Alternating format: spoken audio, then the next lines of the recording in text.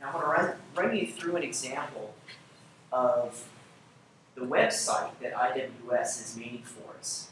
Now, here you can see we've got both of our cameras. And here's our chat room. This is where viewers can actually interact with each other. And we're going to pull in a little bit here. Here's the camera two. This is the view looking straight down. And if you click on it, you can get a full screen view. And notice the grass there. This was taken about a month ago. A long time ago. Yeah, now the grass, if if you looked at it recently, it's, yeah. But this is the PTZ view, and this is the view that changes.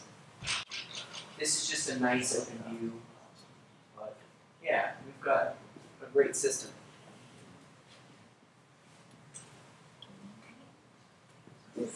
So, we've had a couple storms roll in since we've installed this system, and at this point, we're pretty sure that it's going to survive, although we are having trouble currently with it. We, we may have had some lightning damage this past storm series, and but it seems like it's going to be an easy fix.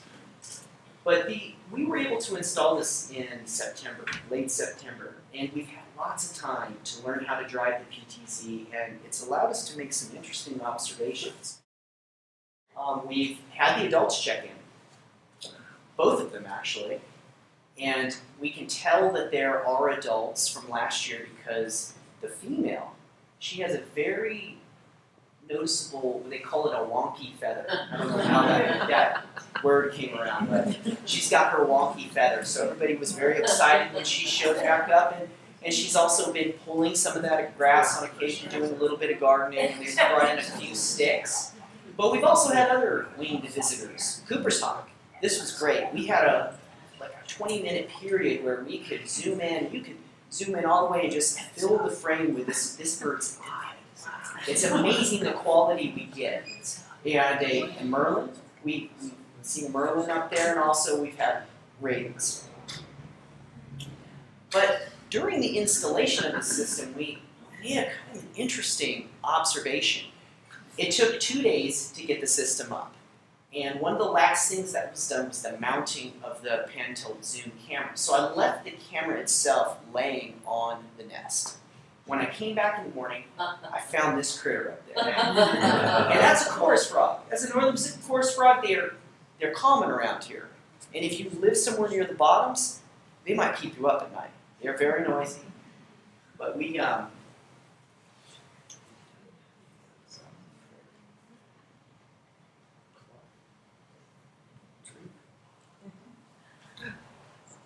This is this is the day of the installation. Wow. So we're, we're wondering, you know, well, is there just this guy? How did he find this nest? How did he climb the trunk? This nest is over hundred feet up. So it was it was an interesting an interesting observation. So, um, you know, we thought about that, and then one of the other advantages of our, our camera system is it, it's able to see at night. And this is imagery taken at night. Now, when the IR lights, the infrared lights kick in, it goes to a black and white image, and that's we were amazed at all, all the life. The, the, the nest is teeming with life. Again, we were able to see there's the little frog, and it was like up to four or five of his buddies that were up there at a time. And these frogs, they seem to have their own little spots where they would come out every night. It was behavior was very patterned. We also saw at least two species of bat, lots of flying insects, moths and, and such. It looked like we were seeing uh, termites in their wing phase. Uh, big beetles, beetles the size of your thumb, like scary big beetles.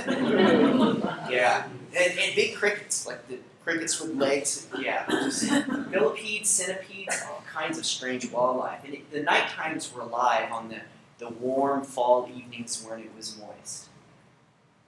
But frogs, I was really excited about the frogs. And if you look here, there's one, there's two, and they don't really interact too much with each other. They sort of keep their. See this guy with the beetle? He's just sitting right there, and the beetle's looking at him. And they're like, "Ah, you're too big to eat, so I'll let you, I'll let you stay there." But our pan-tilt zoom, this image right here was taken with the PTZ camera. It's about 10 feet away. we pulled in pitch dark. We can't see light, the camera can.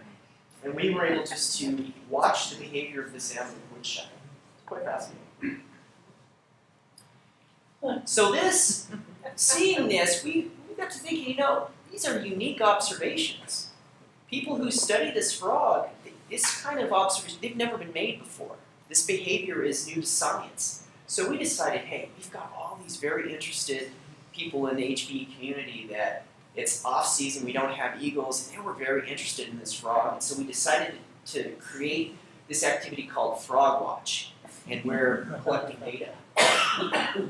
So here, I'm going to run you through our Frog Watch online submission form. Now that view is camera two, that's one we use for a frog. You can look, and this is a form, and I'm running through here. You pick the date, it's real simple. The date, and this is time. Oh, that's your initials. Each person who participates gets their own three-letter initials, and then you pick the time. We have to tell people to be very careful because we want you to get the right time. That's important. So you go through, you fill this out. Every five minutes, people can fill out a form, and it's it's a real simple data form. Data collection is not complicated at all. You're, it's basically where are you seeing a frog if you're seeing frogs? is there, are there insects active on the nest? Is it windy? Is it raining? Just simple, simple data. We can get more detailed weather data from online sources. So we're really just getting people engaged. And it, it's amazing the participation we've had here. This little map down here is used to identify where the frogs were observed. So example, if a frog was observed in the top of the nest, that's called top outer the there to describe where it went. So top outer to left outer would be where a frog would move. And then you put your notes in there and you hit submit and it'll refresh in a minute and every five minutes people were doing these forms. Now when, when Sandra and I put this together, we didn't know how much participation we would have. But we so far have collected over 1,700 survey forms.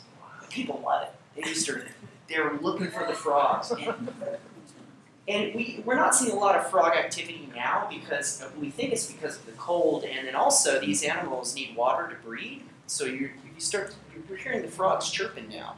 They're giving their calls on the ground, so we think that they're going to go down and go breed. But interestingly, just uh, on December 26th, after not seeing frogs for quite a while, there was an observation made. And it was at 10 o'clock in the morning, and we have this video footage archived. I went back and checked it.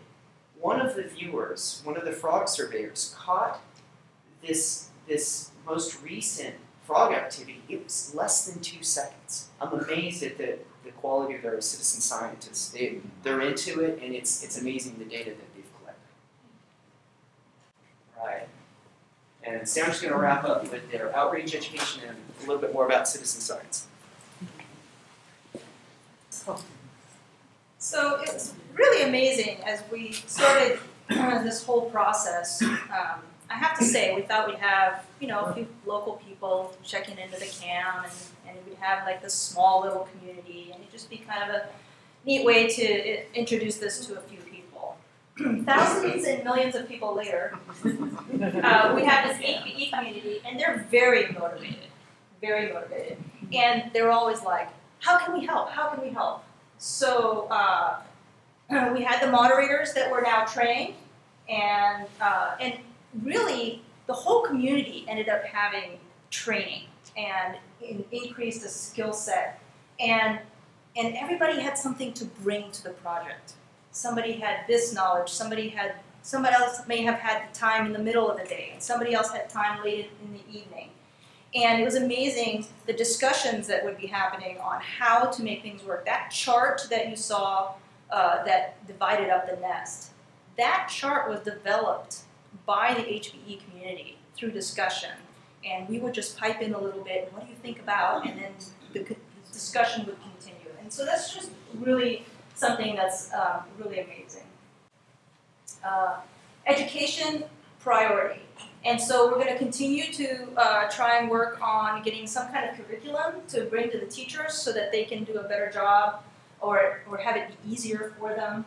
Uh, this last year, we had teachers come in and, and ask questions, and they would post the answers uh, at school. And then we also had, of course, the uh, naming the eaglet uh, project. So we went in and gave them a, a little award for doing that. So we're going to continue to um, be a classroom resource and try to engage students. But we also uh, want to not forget everyone else, and we'd like to continue to develop citizen science projects for all ages. Uh, we're planning on working with local scientists and maximize the potential that we have with this PTZ camera. So uh, to engage the HBE community, we're soon going to have uh, a guess the age of the nest tree. Jim went and poured the tree, and Allison Carroll, an HSU dendrochronologist, went and actually counted all the rings, and we know how old that tree is, and it matches up with history in the area, and that's really exciting. And so people will learn about the process of aging the trees and the history of the area. And then we also have Marie Antoine, an HSU lecturer. She is a lichenologist, and she is going to help us identify the different kinds of lichens on the tree, and in turn educate the public about lichen and their role. So there's more to come, and we're constantly thinking of ideas. And, and generally, the ideas and how much we get done are limited more by time than anything else. So we have this citizen science project already going, the Frog Watch, and we're hoping to expand the data collection. Um, we're going to publish a note in journal. Um, the fact that frogs, these frogs are found this high up in a tree is actually not known. It's only the second observation of a tree frog way up there. And if you think about it, it's mostly because we're not, like Jim doesn't spend the night up in a tree, right? So that we just don't have the opportunity to see them. But this camera gives us that opportunity. And so we really do need to share that with the scientific community as well as the public. We're hoping to be able to uh, come up with something that we're calling trunk watch to see if we can see them going up and down the trunk perhaps. We don't know the timing of when they do that. If they do it once or twice a year when they're breeding, they have to breed in a pond, right? So are they going down to breed in the pond and then going back up in the tree? Are they hanging out in the tree? Do they not realize they're not by a pond anymore? We have no clue. So this is all going to be a discovery process with the whole HBE community along with us scientists going along with the ride. So, and then we also hope, uh, now that we have this online form um, developed and we know how to use it and we realize how effective it can be, we're hoping to expand it to other projects. So, uh, again, fundraising is not the primary objective of the CAM, and it's motivated from within the community. So it's whatever the community comes up with and deems that they want. Uh, the new equipment was priority for uh, the 2013, and uh, we're hopeful that outreach and education will likely dominate any fundraising in 2014. The 2013 funds were used for the new equipment, which Jim showed you, um, the citizen science um, project, and also to support the Humboldt Wildlife Care Center Raptor Education Program. We hope to continue a partnership with IWS. They're a great organization to work with and have a depth of background with eagles and cams that is um, amazing. And we're going to continue to look for other opportunities, including uh, possible additional cameras in the area. And of course, with such a project, with all volunteers, there's always a lot of thank yous. First and foremost, the landowner who uh, gave us the opportunity to begin with and allows us to descend on the property with all of our equipment and things to do. Um, as some of you know, the cam is currently down. The landowner's been working for the last two days to try to get the networking back up. Um, and they really don't have to do that. They choose to do that, and we're very appreciative of that. Uh, Institute for Wildlife Studies, Humboldt Wildlife Care Center, um, Sequoia Park Zoo, chat moderators, the Facebook administrators, project volunteers, the community, of course. And so it really does take a village to make a successful CAM. Uh, on the, we had 11 moderators that worked last year um, to keep the chat up basically from dawn till dusk, sometimes longer. Um, and then we had other projects. Dave Garcelon with the banding, Peter Sharpe with all his expertise in the CAM, Linda Parkinson and Diane Dickinson wrote the grant, Uh, Mary Maloney uh, does the Raptor Education Program, and we're hoping to work with them on expanding that and including eagles more readily. Um, Giacomo is uh, Jim's climbing partner and has always been there to help him with that. Megan started the Cafe Press site. Glenda was the head of the pledge party. Debbie did the summary video that you saw and was a huge um, lead, leader for the Frog Watch at the community level. And of course, the whole entire community that watches and participates in all of that. So, to all of these people, a very special thank you. And this is basically my motto for this project, and it is by making a connection with wildlife through understanding and empathy, that people will consider their needs when making everyday decisions.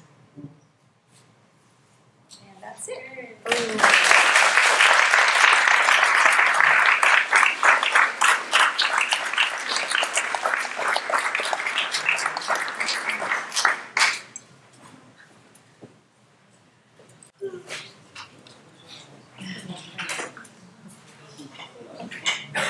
So we can do Q and A, go for it.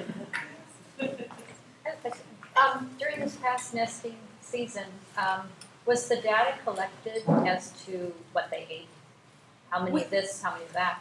Yeah, we did to some level. Um, the quality of the camera was not good enough to always be able to tell what species was being brought, but we did have some online uh, submission on the Facebook page where people could say, hey, I saw a bird brought in on this day, I saw whatever they would see, and they would submit that. But we're hoping to expand that to um, through the Zeta board and possibly even through one of those online forums, so that we can get more detailed data about what the diet is of these eagles here on the bay. Because the diet of eagles changes depending on where they live. They're very opportunistic.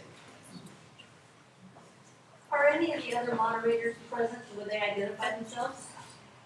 Uh, one moderator is here, Brian. Uh, Brian, my name's Brian. But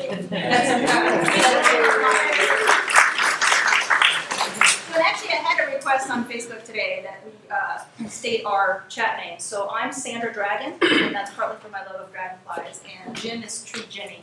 but we and call I'm- him Clifton I'm when you Pete work Bruin. on it. Bruin, however you might pronounce it, yeah.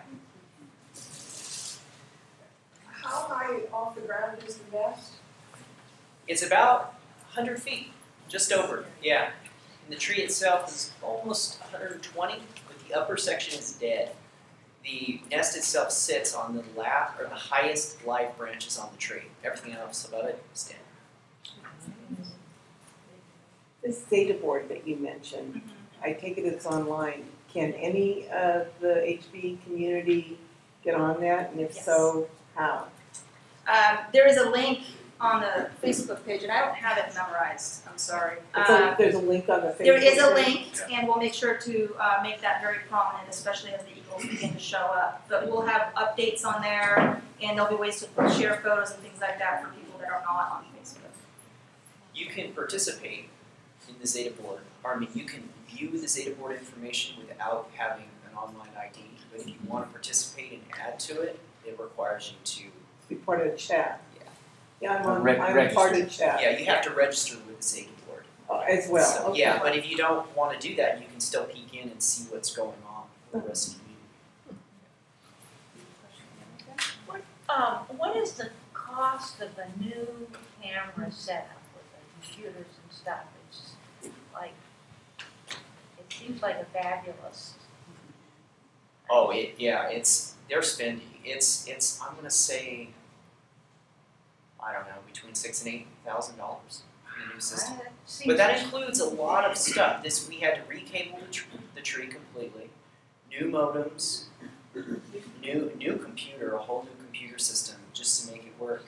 This is uh, we gave the community a price target. We said, well, we can put a new system in for this much, or this would be the, all the bells and whistles right here. And they wanted the biggest and the best. and the fundraising was amazing what they were able to accomplish. So they have we have one of the nicest systems out there. The high definition image that we can get, the images we can get out of the system are, are great. And they're allowing us to do things like frog watch at nighttime viewing. It's it's great. I, th- it seems incredibly inexpensive to me considering all the people that get to see it and Yeah. participate and learn. Well, the, the cost of this sort of technology has been going down rapidly over the last decade. A system like this 10 years ago, it, it would not have been attainable. It, it just the cost of it. But it's less than half of what it may have been, maybe even like a third. Is it pretty universally disruptive to install a camera after birds have nested, or are there other species where that can be done, or is it just pretty much kind of a straight up no no to do that? Um, It depends on the camera. You, it's pretty much a no no. Mm-hmm. But if you have a camera that was very, very discreet, you could get away with it. And sometimes that's that's what happens because you can't always predict where a bird's going to nest. With eagles, it's easier because there's a giant stick nest that they use year after year. But in some species, no. You have to find their newly formed nest, and you have to put the camera on there. And that's usually those really tiny, the lipstick style cameras that they'll use. And then you have to wait till they're finished nesting that year and hope they come back the next year. I mean, there's always that. You can't go put a camera up during the nesting season on any raptor. It's not just an eagle thing, it's any raptor, or any nest really. You're not allowed to disturb any, any bird nests. Now, the banding that we do does occur during the nesting season, season obviously, but we wait for the chicks to be old enough to where we know that the parents won't abandon them. Mm-hmm. And that's usually they put, I would say, three weeks of effort into raising those chicks. It's going to take a lot for them to, to get scared off and leave the chicks behind. So we, we wait all the way until eight weeks before we put bands on. And the birds leave the nest typically around the 12 week stage. So we're waiting until late in nesting. And that has major permits involved, Yeah, not yes. easily attained permits. State and federal. Were there any concerns about the parents while you were gonna do the banding effort? Uh, how did you know they wouldn't come and be really angry with you? Bald eagle are easy to work with. The parents tend to not be aggressive towards the climber that goes into the nest. And I don't know why. I have, I have my, I don't know why for sure, but I have my, my ideas on why that occurs. But they're not used to a, a giant mammal climbing into their nest. That's to them, they're like, what's going on? You know, that's not the type of predator that they're used to. So what they usually do is they go and perch on a tree that's hundred meters away and they watch you. So they were there. Yeah, they were in the area. Yeah, and they, yeah, they come back almost sometimes immediately after you leave the tree. They're back, and it just things continue as as if nothing happened. It's it's amazing. Yeah, they're a lot of their behavior is very much innate. It's programmed. They they want to feed those the young. and They want to see them leave the nest, so they just go back at it. Can you ban them in the nest, or do you have to take them down? You can ban them in the nest, but we tend to bring them down. And the reason is, is we don't want there to be a situation where the bird falls out of the nest. They're easier to handle on the ground, and we're also doing a, a, a slew of other measurements. And, and some projects, and not with the HBE, but we, we do other things uh, like take blood samples, and then those are analyzed for the research. So those are things that we wouldn't do in nest. But no, we, we do bring them down. We put them in a special bag. They come down with me to my site. I supervise that the whole time. When we get to the ground, it's it's it takes procedure takes 20 minutes, maybe to 45 minutes. It's pretty quick.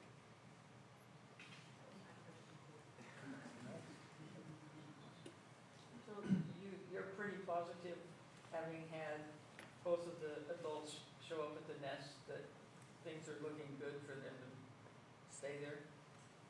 Yeah, it, we've had visitation by the adults, which would be normal, just check-ins.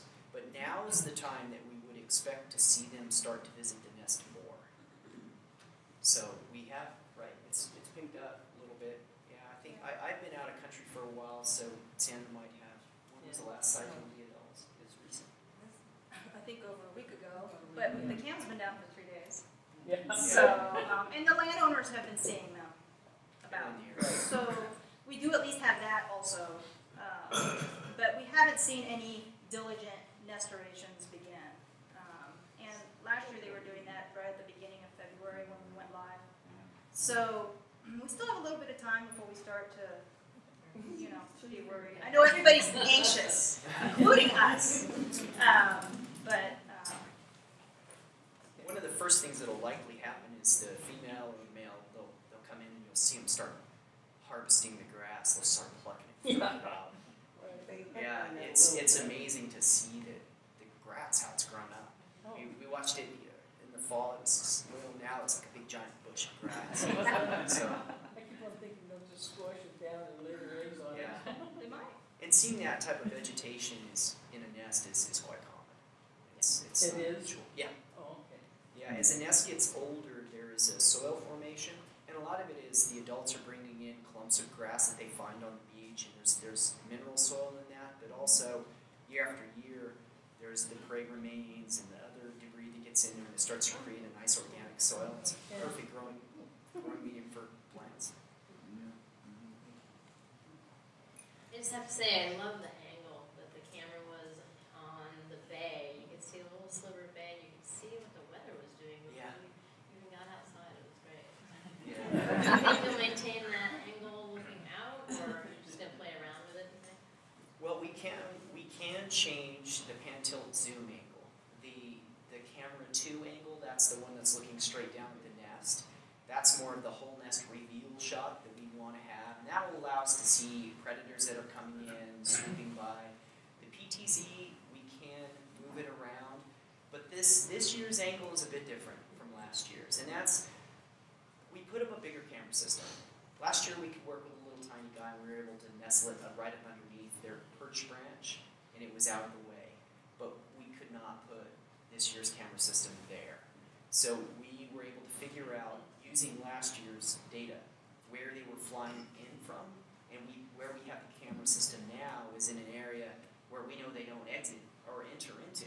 So it's a it's the place where they don't go, and the cameras are situated back. It's it's the perfect situation, but the view is I don't know, it's it's different. Some people will say maybe it's not as intimate, we still we, we need to see. Yeah, we I think people are going to be very surprised when the, the eggs are there and when the adults are when the eggs hatch. We're going to be able to just it's going to be right there. We'll be able to zoom in and see the little chick pipping out of the egg. We've got that capability. This camera's amazing. Identify all the prey. Yeah. Yeah. Be able to, yeah.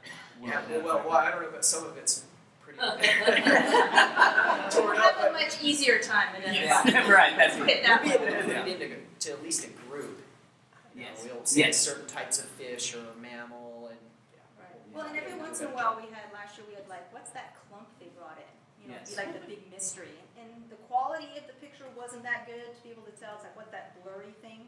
Right. So it now it's gonna be a lot Fern clump? Cleaner, Yeah. and we'll also be able to zoom into those things and go, oh, it's, you know, whatever. So it'll, it'll be good. Oh, that'd be fun. and the two camera system, now we have redundancy. So just like this past storm, we may have lost one of the cameras to lightning. It who knows? I don't think so. I think it's just a hardware issue on the ground. But Yeah. if something goes wrong with one of the cameras, we're not all yeah, we got we got to back up. So that's another advantage. The couple of times that I've seen the, the eagles take off, uh, this year, it's been beautiful. Cause they just go down, slide down and go off, and then sometimes they'll turn around and come back and. Yep. It's, it was, And that's one of the advantages of the new view. That's That's something right. that we couldn't see with the old view. So Right. there's gonna be positives and negatives to Right. any change, right? So, Well, they had the perching branches now too. and we can see the. And the fledgling branch, yeah. Yeah, Yeah, that's that'll huge. be, There was a that'll be nice. there was a lot of activity last year that was just off camera. Mm-hmm. And it was it was the the battles between the ravens and the, the parents, you know, this Yeah. Violent clashes, and we were just kind of looking at this, going, "What's going on?" Did you? But now we're gonna be looking around and seeing, seeing it's really going to be a, a treat to be able just to see, to really peek into the life of these nesting eagles and their young. Yeah, yeah, right. Yeah, Who nailed, who nailed up the false, false limb? I did. Nice. Yeah. It was it was necessary. The, It the was, top yeah. of the tree is just it's it's really in decay. Yeah. we could lose the top. That's another thing. No, Lose it's this whole not that camera kind of system. camera, yeah. Yeah, yeah, no, you're gonna. Yeah, We may have a few more years before uh, they are forced to use another nest site. We'll see.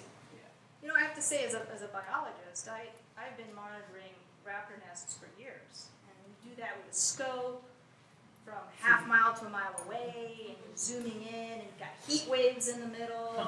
so you get to see, you know, you get to see, okay, there's two parents there, there might be a chick. You get to see that kind of stuff. You know, you might see some prey being brought in, but it's just, you know, a bird shadow with a clump in, their, in their talons. And that's all you get to see. And so, as a biologist, for me, it's been so amazing to get the detail that we just never can get. And so, as much as you guys all enjoy being able to see that, I'm, I as a scientist, I'm just, I'm soaking, I'm soaking it all in, Yeah. soaking it. And, and it's really changed the way that I look at the birds, even now when I'm doing other raptor surveys. Because I can kind of imagine a little more about what's going on and what I'm seeing in shadow. So that's really exciting. When you publish this stuff, will you let us know what journals? Absolutely. Absolutely. Yeah. And there was discussion last year that with this tree losing its viability, they may pick another place for the nest. Are there other viable trees on this landowner's property that they could choose? Yes. Oh, good. Yeah. And And nearby. The top of the tree could persist for some time, but if it is lost, the nest would remain because it's on the live branches, but they would lose the perching branches, and they really like to have good perching branches. But we'll, yeah, we'll cross that bridge when we come to it. it. I think we still have some time for the current tree, but you never know. I wanna break in there real quick and just, uh, offer that if people wanna leave, feel free, we can do Q and A as long as folks want. And thank you.